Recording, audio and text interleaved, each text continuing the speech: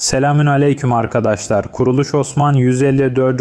bölüm bugünkü videomuzda sizlere bunu anlatacağız. Boran ve Konur'un akıbeti ne olacak? Peki kavgalarının arkasında nasıl bir plan gizlidir? Bugünkü videomuzda sizlere Ayça Hatun'un gerçekte kim olduğunu anlatacağız. Bu ilginç ve önemli bilgiyi öğrenmek için videoyu sonuna kadar izlemelisiniz. Kanalımıza henüz abone olmadıysanız videoyu beğenin ve kanalımıza abone olun. Konur ve Boran hakkında konuşun. Yani son bölümde aralarında kavga olduğunu gördünüz ve birbirlerini saçmalarla yaraladılar. Bunun üzerine Osman Bey onu hapse attı. O halde size kavgalarının gerçek sebebinin ne olacağını anlatalım. Büyük ihtimalle İmran Tegin'in casusu Olivia'yı ifşa etme planı bu. Veya mahkeme kurulduğunda aksi takdirde. Yani Osman Bey ya Konur'dan birini ya da Boran'ı suçlayacak ve kabileden çıkarılacak. Daha sonra İmran Tegin'in saflarına katılacak. Böylece Osman Bey'e casusluk yaparken görülecektir. Bize göre Osman Bey'in iki üst düzey komutanı birbiriyle bu şekilde savaşamaz. Siz de yorum yaparak anlatacaksınız. Boran ve Konur arasındaki kavga sizce gerçek mi yoksa bir oyun mu? Ayça Hatun hakkında konuşun. Yani fragmanda çadırı ateşe verdiği görülüyor. Elçim Hatun'un düğün malzemelerinin saklandığı çadır. Gazi Alp ise yaralanarak baygın hale geldi.